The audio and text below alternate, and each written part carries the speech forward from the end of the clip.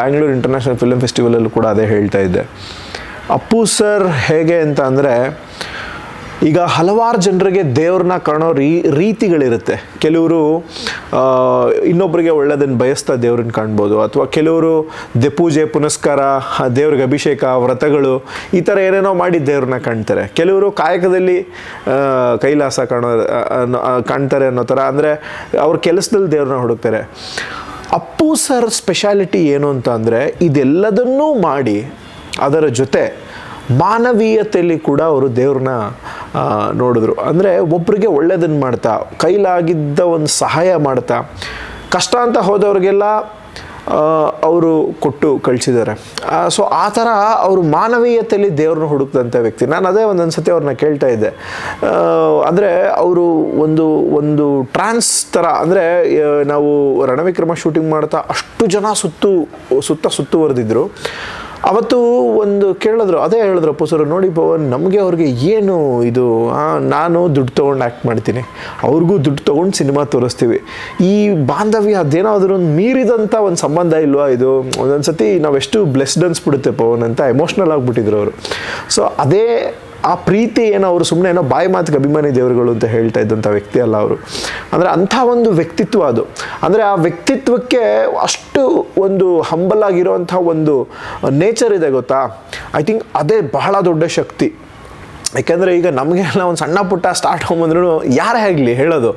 ಅದನ್ನು ಸೆಲೆಬ್ರೇಟ್ ಮಾಡ್ತಾರೆ. ಬಟ್ ಈ ಅಪ್ಪು ಸರ್ಗೆ ಎಲ್ಲೋ ಅದೊಂದು ಭಯಂಕರ ವೈರಾಗ್ಯ ಇತ್ತು. ಯಾಕೆಂದರೆ ಅವರು ಹುಟ್ತಾನೆ ಆ- ಒಂದು ಪವರ್ನ ನೋಡಿದ್ದಾರೆ ಹುಟ್ತಾನೆ ಅದೊಂದು, ಆ ಒಂದು ಸ್ಟೇಟಸ್ನ ನೋಡಿದ್ದಾರೆ ಸೊ ಯಾವತ್ತೂ ಅವ್ರಿಗೆ ಆ ಸೆಲೆಬ್ರಿಟಿ ಮೋಡ್ ಅಥವಾ ಅದನ್ನು ತಮ್ಮನ್ನು ತಾವು ಸ ಗ್ಲೋರಿಫೈ ಮಾಡ್ಕೊಳ್ಳೋ ಅಂಥ ಮೋಡ್ಗೆ ಹೋಗಲಿಲ್ಲ ಅಂತ ಅನಿಸುತ್ತೆ. ಅವ್ರಿಗೆ, ಅವರೆಲ್ಲ ಅದೊಂದು ದಿವ್ಯವಾದಂಥ ವೈರಾಗ್ಯ ಇತ್ತು.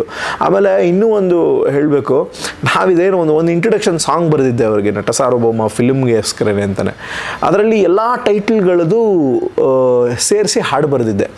ಅಂದರೆ ಅವರು ಅಪ್ಪು ಸರ್ ಪ್ರೇಮದ ಕಾಣಿಕೆ ಸಿನಿಮಾಯಿಂದ ಅಂಜನಿ ಪುತ್ರ ಸಿನಿಮಾ ಇದಾಗೋವರೆಗೂ ಅಷ್ಟ್ರದ್ದು ಟೈಟಲ್ಗಳು ಇಟ್ಬಿಟ್ಟು ಒಂದು ಹಾಡು ಬರೆದಿದೆ ಅಪ್ರಾಕ್ಸಿಮೇಟ್ಲಿ ಇಪ್ಪತ್ತೆಂಟು, ಇಪ್ಪತ್ತೊಂಬತ್ತು ಟೈಟ್ಲ್ ಏನೋ ಇತ್ತು ಅನಿಸುತ್ತೆ. ಅದೆಲ್ಲವನ್ನು ಸೇರಿಸಿ ಒಂದು ಸಾಂಗ್ ಮಾಡಿದ್ದೆ. ನಾನು ರಾಕ್ಲೈನ್ ಸರಲ್ಲಿ ಹೋಗಿ ರಾಕ್ಲೈನ್ ಸರು ಕೇಳಿ ತುಂಬ ಇಷ್ಟಪಟ್ಟಿದ್ರು. ಸೊ ಅದನ್ನು ಅಪ್ಪು ಸರ್ಗೆ ಅದು ತೋರಿಸಿದಾಗ ಕೇಳಿಸ್ದಾಗ ಸಖತ್ ಖುಷಿಪಟ್ಟರು ಬಂದಿರೋ, ಸೂಪರ್ ಆಗಿದೆ. ಆದರೆ ಈ ಹಾಡು ಬಳಸೋದು ಬೇಡ ಅಂತ ಅಂದರು. ನಾನು ಸರ್ ಯಾಕೆ ಸರ್ ಏನಾಯ್ತು ಸರ್ ಅಂತಂದರೆ, ಅಂದರೆ ಅವಾಗ ಹೇಳಿದ್ರೆ, ಇಲ್ಲ ನನ್ನನ್ನು ನಾನು ಏನು ಹೊಗಳ್ಕೊಳ್ಳೋದು ಅದು, ಅದೇನೋ ನನಗೆ ಇಷ್ಟ ಆಗಲ್ಲ ನನ್ನನ್ನು ನಾನು ಗ್ಲೋರಿಫೈ ಮಾಡ್ಕೊಳ್ಳೋದು. ಸೊ ಆ ಒಂದು ಹಂಬಲ್ನೆಸ್ ಇದೆ ಗೊತ್ತಾ?